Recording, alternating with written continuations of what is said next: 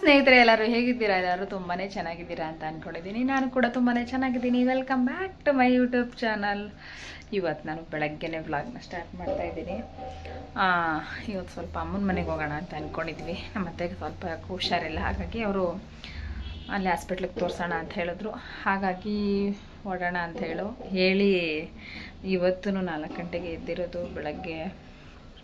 ಇವತ್ತು ಸೋಮವಾರ ಬೇರೆ ಅಲ್ವಾ? ಎಲ್ಲ ಕೆಲಸ ಆಯಿತು. ಇವಾಗ ನಾನು ದನಿನ ಮನೆಯಿಂದ ಬಂದರೆ ನಮ್ಮ ಮನೆಯವರು ಇನ್ನು ಸ್ವಲ್ಪ ಕೆಲಸ ಇತ್ತು, ನಾನು ಮಾಡಿಬರ್ತೀನಿ ನೀನು ಹೋಗಿ ತಿಂಡಿ ಮಾಡೋಗು ಅಂತಂದರು. ಉರ್ಸೋದು ಉರ್ಸೋದು, ಬಾಗಿಲು ತೊಳೆಯೋದು ಇದರಲ್ಲೇ ಟೈಮ್ ಆಗೋಗ್ಬಿಡುತ್ತೆ. ಎಲ್ಲಾದರೂ ಹೋಗ್ಬೇಕಂದ್ರೆ ನನಗಂತೂ ಟೆನ್ಷನ್ ಯಾಕಂದ್ರೆ ಇಷ್ಟೊಂದೆಲ್ಲ ಕೆಲಸ ಮುಗಿಸಿ ನಾವು ಹೋಗ್ಬೇಕಲ್ವ? ಯಾರಪ್ಪ ಹೋಗ್ತಾರೆ ಅನಿಸುತ್ತೆ. ಕೆಲಸ ಎಲ್ಲ ಆಯಿತು ಇವಾಗ. ನಾನು ಸ್ನಾನ ಮಾಡ್ಕೋಬೇಕು ನಾವು ಅದೇ ಸ್ನಾನಕ್ಕೆ ಹೋಗಿದ್ದಾರೆ. ಅವ್ರು ಬಂದು ಪೂಜೆ ಮಾಡ್ತಾರೆ, ನಾನು ಅಷ್ಟರಲ್ಲಿ ತಿಂಡಿ ಮಾಡಬೇಕು. ತಿಂಡಿಗೆ ಇವತ್ತು ಅಮ್ಮನಿಗೆ ನಾವು ಅಲ್ಲೇ ತಿಂಡಿಗೆ ಬರ್ತೀವಿ ಅಂತ ಹೇಳಿದ್ದೀನಿ ಇವಾಗ ಬರೀ ನಮ್ಮ ಮನೆಯವ್ರಿಗೆ ಮಾತ್ರ ಸ್ವಲ್ಪ ಅವಲಕ್ಕಿ ಉಪ್ಪಿಟ್ಟು ಮಾಡೋಣ ಅಂತ ಅಂದ್ಕೊಂಡಿದ್ದೀನಿ ನಾಲ್ಕು ಗಂಟೆಗೆ ಎದ್ದಿದ್ದಕ್ಕೆ ತುಂಬ ಹೊಟ್ಟೆ ಇದೆ. ರಾತ್ರಿ ನಾನು ಎಷ್ಟೊತ್ತು ಮಲ್ಕೊಂಡಾಗ ಹನ್ನೊಂದು ಗಂಟೆ ಅಂತ ಅನಿಸುತ್ತೆ. ನೆನ್ನೆನೂ ಬೇಗ ಎದ್ದಿದ್ದು ಲೇಟಾಗಿ ಮಲ್ಕೊಂಡಿದ್ದು ನೆನ್ನೆ ಎಲ್ಲ ಓಡಾಡಿ ಇವತ್ತೂ ಹೋಗಬೇಕು ಗಾಡೀಲಿ. ನಿದ್ದೆಗೆಟ್ಟು ಗಾಡಿ ಓಡಿಸೋದಂದರೆ ಸ್ವಲ್ಪ ಬೇಜಾರು. ಪರವಾಗಿಲ್ಲ ಹೋಗ್ಬೇಕಲ್ಲ ಅವ್ರಿಗೆ ಹಾಸ್ಪಿಟ್ಲಿಗೆ ತೋರಿಸ್ಲೇಬೇಕು. ಹಾಗಾಗಿ ಹೊರಡಬೇಕು. ನಮ್ಮ ಮನೆಯವ್ರಿಗೆ ಎಷ್ಟೊತ್ತು ಸ್ವಲ್ಪ ತಿಂಡಿ ಅವ್ರೊಬ್ಬರಿಗೆ ಮಾತ್ರ ತಿಂಡಿ ಮಾಡ್ತೀನಿ. ಸಾಂಬಾರು ಮೊಳಕೆ ಕಟ್ಟಿ ಸಾಂಬಾರು ಮಾಡಿದ್ನಲ್ಲ, ಅದೇ ಇದೆ. ಅವರು ಅದರಲ್ಲೇ ಊಟ ಮಾಡ್ಕೋತಾರೆ. ನಮ್ಮನೇನು ಸಾಂಬಾರು ಇದ್ದರೆ ಅವತ್ತೊಂದು ಮಾರನೆಗಿದ್ರೂ ಊಟ ಮಾಡ್ತಾರೆ, ಆ ರೀತಿ ಏನಿಲ್ಲ. ತಿಂಡಿ ಮಾತ್ರ ಬೇಕೇ ಬೇಕು ನಮ್ಮ ಮನೆಯವ್ರಿಗೆ. ತಿಂಡಿ ಬೇಕೇ ಬೇಕು. ಸಾಯಂಕಾಲ ಮುದ್ದೆ ಮಾತ್ರ ಮಾಡಲೇಬೇಕು. ಕಂಪಲ್ಸರಿ ಏನೇ ಫಂಕ್ಷನ್ ಮಾಡಲಿ ನಮ್ಮ ಮನೇಲಿ, ಏನೇ ಹಬ್ಬ ಮಾಡಲಿ, ಏನಾದರೂ ಮಾಡಲಿ ನೈಟ್ ಟೈಮ್ ಮುದ್ದೆ ಮಾಡಲೇಬೇಕು, ಬೆಳಗ್ಗೆ ಟೈಮ್ ತಿಂಡಿ ಇರಲೇಬೇಕು. ಅವರು ಯಾವತ್ತು ಏನೇ ಎಮರ್ಜೆನ್ಸಿ ಆದ್ರೂ ಯಾವ ದಿನ ತಿಂಡಿ ಮಾಡಿ ಮಾಡಿ ಬೇಜಾರು ಇವತ್ತೊಂದೇನು ಅಡುಗೆ ಮಾಡಿಬಿಡ್ಲ ಅಂದರೆ ಯಾವುದೇ ಕಾರಣಕ್ಕೂ ಅವ್ರು ಅದನ್ನು ಮಾತ್ರ ತೊಗೊಳಲ್ಲ. ನಾನು ಒಬ್ಬನಿಗೆ ಏನಾದರೂ ಮಾಡ್ಕೊಟ್ಬಿಡಪ್ಪ ನೀವು ಏನಾದರೂ ಮಾಡ್ಕೊಳ್ಳಿ, ನಾನು ಏನು ಕೇಳಲ್ಲ ನಿಮ್ಮನ್ನ ಅಂತ ಹೇಳ್ತಾರೆ. ಸ್ವಲ್ಪ ಬಿಸಿನೀರು ಕುಡ್ದು, ಹೊಟ್ಟೆ ಇದೆ. ಸ್ವಲ್ಪ ಕಾಫಿ ಮಾಡ್ಕೊಂಡು ಕುಡಿಯೋಣ ಅಂತ ಅಂದ್ಕೊಂಡಿದ್ದೀನಿ ನಾನು ನಿನ್ನ ಸ್ನಾನ ಮಾಡಿ ಅಮ್ಮನ ಮನೆಗೆ ಗಾಡಿ ತೊಗೊಂಡು ಹೋಗೋರ್ಗೂ ಎನರ್ಜಿ ಬೇಕಲ್ವಾ? ಹಾಗಾಗಿ ಅಮ್ಮಂಗೂ ಹೇಳಿದ್ದೀನಿ ಬರ್ತೀವಿ ಅಂತ ಹೇಳಿ.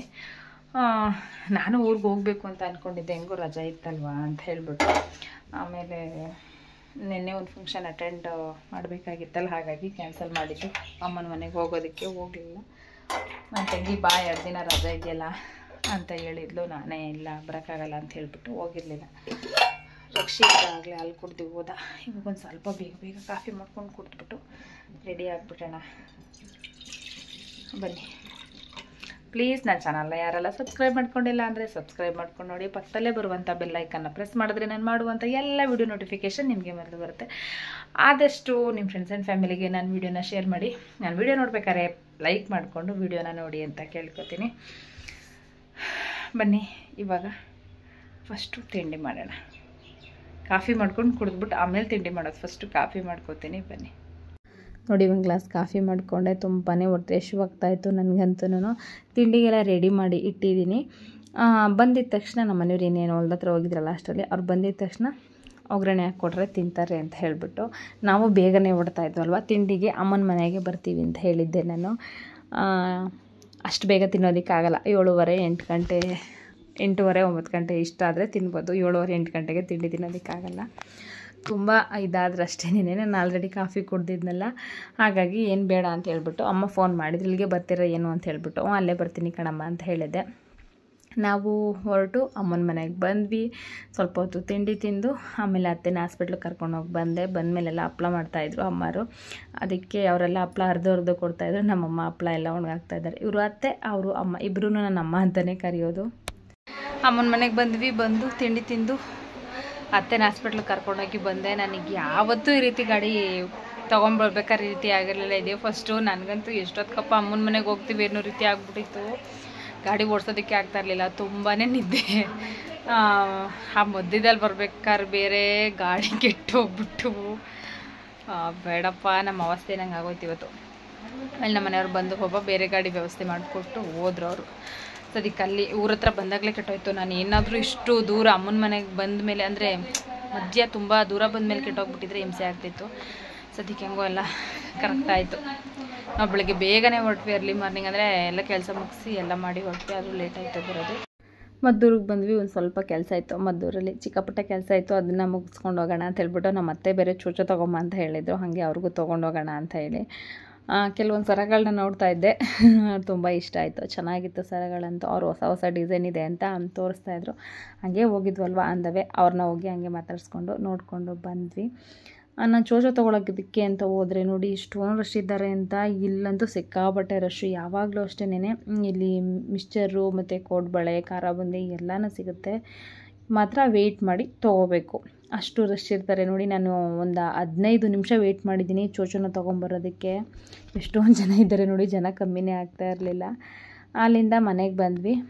ಆ ಹಪ್ಳ ಇಡ್ತಾಯಿದ್ರಲ್ಲ ಅಮ್ಮಾರು, ಆ ಹಿಟ್ಟು ಸ್ವಲ್ಪ ತೆಳ್ಳಗಾಗ್ಬಿಟ್ಟಿತ್ತು. ಅದಕ್ಕೆ ಅತ್ತೆ ಮ ಅದಕ್ಕಿನ್ನ ಅದಕ್ಕೆ ಇನ್ನೊಂದು ಸ್ವಲ್ಪ ಉದ್ದಂದು ಪುಡಿ, ಕಾಳನ್ನು ಪುಡಿ ಮಾಡಿಸಿ ಅದಕ್ಕೆ ಹಾಕಿ ನೀಟಾಗಿ ಹಿಟ್ಟನ್ನು ನೀಟಾಗಿ ಹದ ಮಾಡಿ ಕೊಡ್ತಾಯಿದ್ದಾರೆ ನೋಡಿ ಉಪ್ಪ ಸರಿಗಿಲ್ಲ ನೋಡು ಅಲ್ಲಿ ಹಾಕೋದು ಸರ ಐತೆ ಕಳಿಸ್ಲಿ ಇರೋಜಿ. ಅದ್ ಕಾಲೇ ಹಾಕಿತ್ತು ಉಪ್ಪು ಹಾಕಿದ್ದೇನಮ್ಮ?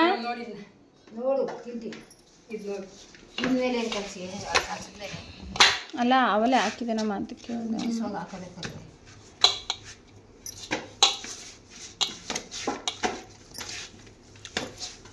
ಹ್ಞೂ ಸಾಕು.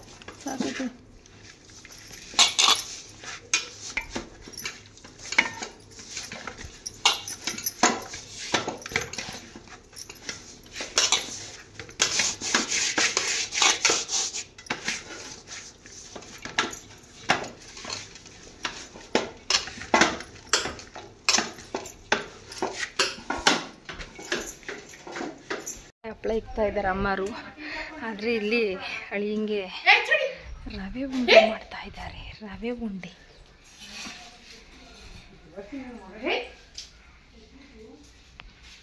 ಇವ್ರು ಕೊ ಇವ್ರು ಕೊ ಒಂದಿನ ರವೆ ಉಂಡೆ ಮಾಡ್ಕೊಂಡು ಕೊಟ್ಟಿದ್ರು ನಮ್ಮ ಮನೆಯವರಂತೂ ಅದಕ್ಕೆ ತುಂಬ ಚೆನ್ನಾಗಿದೆ ಅಂತ ಹೇಳಿದ್ರು. ನಾನು ಊರಿಂದ ಬಂದಿದ ತಕ್ಷಣ ಹಂಗಂತ ಅಂದೆ ಅಮ್ಮ ನಿನ್ನ ಮೊಮ್ಮಗನ ನೀನು ಮಾಡಿಕೊಟ್ಟಿರೋ ರವೆ ಉಂಡೆ ಸಿಕ್ಕಾಪಟ್ಟೆ ಇಷ್ಟ ಆಯ್ತಂತೆ ಕಣಮ್ಮ ಅಂತ ಅದಕ್ಕೆ ನಾನು ಹೋಗೋಷ್ಟರಲ್ಲಿ ಮಾಡ್ಕೊಡ್ತೀನಿ ಅಂತ ಹೇಳಿ ರವೆ ಉಂಡೆನ ಮಾಡ್ಕೊಡ್ತಾ ಇದ್ದಾರೆ ನೋಡಿ. ಇಲ್ಲ ಕಣ ತಿರ್ಗಮ್ಮ.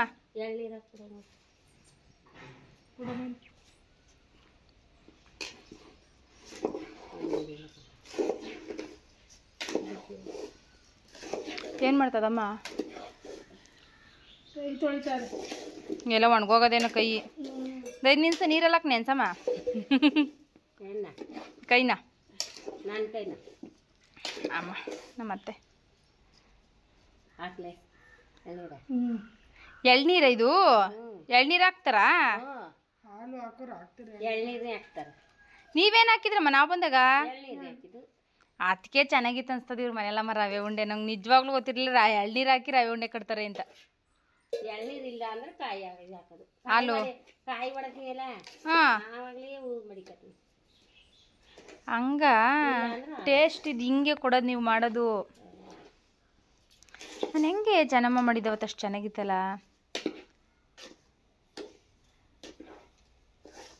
ಈಗ ಹಂಗೆ ಬೇಕು ಅಂದರೆ ಹಾಲು ಹಾಕಬೇಕು ಇಲ್ಲ ಇದ್ರಲ್ಲೇ ಇದರಲ್ಲೇ ಇದು ಮಾಡ್ಕೊಂಡು ಉಂಡೆ ಕಟ್ಟೆ ತಿಕ್ಕದು ಅದಕ್ಕೆ ಕಣಮ್ಮ ಅವರು, ನೀನು ಏನೋ ಮಾಡಿದ್ದು ಚೆನ್ನಾಗಿತ್ತು ಅವತ್ತು. ಅವ್ರು ಎಷ್ಟು ಚೆನ್ನಾಗಿ ಮಾಡಿದ್ರು, ಚೆನ್ನಾಗಿತ್ತು ಅವ್ರು ಮಾಡಿದ್ದು ಅಂತ ಇದ್ದಿದ್ದು ಅದಕ್ಕೆ ಅವರು. ಚೆನ್ನಾಗಿತ್ತು ಅವ್ರು ಮಾಡಿಕೊಟ್ಟಿದ್ದಾವೆ ಉಂಡೆ ಅಂತ. ತಗೋ ಕೊಟ್ಬಿಡ್ತೀನಿ, ತಾಳಪ್ಪ ಮಾಡಿಕೊಟ್ಟವ್ರೆ. ನಿಂಗೆ ಇಷ್ಟ ಅಂತ ಅಂತ.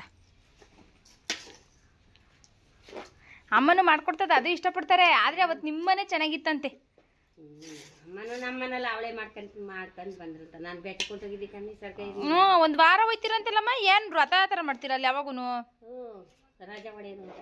ಹ್ಞೂ ಈ ವಾರವಾದ್ರೆ ಬರೋ ಹೊತ್ತು ಬರೋದು ಏನು ಪೂಜಾ? ಬೆಳಗ್ಗೆ ಹೊತ್ತಿಗೆ ಎದ್ದು ಸ್ನಾನ ಮಾಡ್ಕೊಂಡು ಹೋಗಿ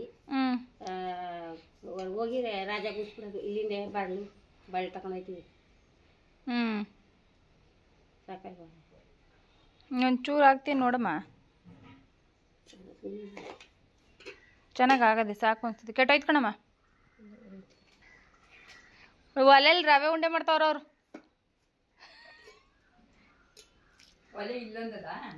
ಎತ್ತವಲೆ ಮಡಿಕೊಂಡವ್ರಿಂದ? ಇದ್ರಲ್ಲೇ ಮಾಡೋದವ್ರಲ್ಲ. ಕಬ್ಣ ಕಬ್ಬಣ. ತಗೊಬಂದಿರೋದು ಮದ್ದೂರಲ್ಲಿ ಸಂತೆ. ಅಳ್ಕತ್ತದಲ್ವಾ ಅಷ್ಟೊತ್ತಿಗೆ? ತುಪ್ಪ ಹಾಕ್ಬೇಕಾ ಒಂಚೂರ. ಹಾಕಿದ್ನಲ್ಲ ಮೊದಲೇ ರಾಹುಲ್. ಹ್ಞೂ ನೋಡಿ ರವೆ ಉಂಡೆನ ನೀಟಾಗಿ ಕಟ್ಟಿದ್ದೀವಿ. ಎಷ್ಟು ಚೆನ್ನಾಗಿತ್ತು ಗೊತ್ತಾ? ರವೆ ಉಂಡೆ ಅಂತೂ ತುಂಬಾ ಚೆನ್ನಾಗಿ ಬಂದಿತ್ತು. ಅಮ್ಮ ನಾವು ಬಂದಿದ್ದೀವಲ್ಲ ಅಂತ ಹೇಳಿ ಶಾವಿಗೆ ಮತ್ತು ಪಾಯಸನ ಮಾಡಿದರು. ಊಟನೂ ತುಂಬಾ ಚೆನ್ನಾಗಿತ್ತು. ಪಾಪ ಅವ್ರಿಗೆ ನಾನು ಒಂದು ಮಾತು ಹೇಳಿದ ತಕ್ಷಣ ಎಷ್ಟು ಬೇಗ ಬೇಗ ರವೆ ಉಂಡೆ ಮಾಡ್ಕೊಂಡು ಕೊಟ್ರು ಗೊತ್ತಾ ನಮ್ಮ ಅಜ್ಜಿ? ನಮ್ಮ ಮನೆಯವ್ರಿಗಂತೂ ಸಿಕ್ಕಾಪಟ್ಟೆ ಇಷ್ಟ ಆಯಿತು. ಮನೆಗೆ ತೊಗೊಂಬಂದು ಟೇಸ್ಟು ತೊಗೊಳ್ರಿ ನೀವು ಹೇಳಿದ ಗಜ್ಜಿ ಮಾಡ್ಕೊಂಡು ಕೊಟ್ಟರು ಅಂತ ಕೊಟ್ಟೆ. ತುಂಬ ಚೆನ್ನಾಗಿದೆ ಅಂತ ಇಷ್ಟಪಟ್ಟು ತಿಂದರು. ಇವತ್ತಿನ ಬ್ಲಾಗ್ ಇಷ್ಟೇ ಸ್ನೇಹಿತರೆ, ಅಮ್ಮನ ಮನೆ ಬ್ಲಾಗು ಇಲ್ಲಿಗೆ ಎಂಡ್ ಮಾಡ್ತೀನಿ. ಸಿಗೋಣ ನೆಕ್ಸ್ಟ್ ವಿಡಿಯೋದೊಂದಿಗೆ ಥ್ಯಾಂಕ್ಸ್ ಫಾರ್ ವಾಚಿಂಗ್